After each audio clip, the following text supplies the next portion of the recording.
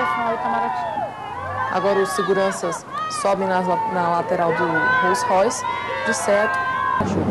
E é importante observar que ela pediu que o quarto segurança da lateral não subisse no carro para que ela pudesse ver o público e assinar para as pessoas. Ele subiu agora na traseira do carro, deixando então o campo de visão da presidência, da presidenta livre.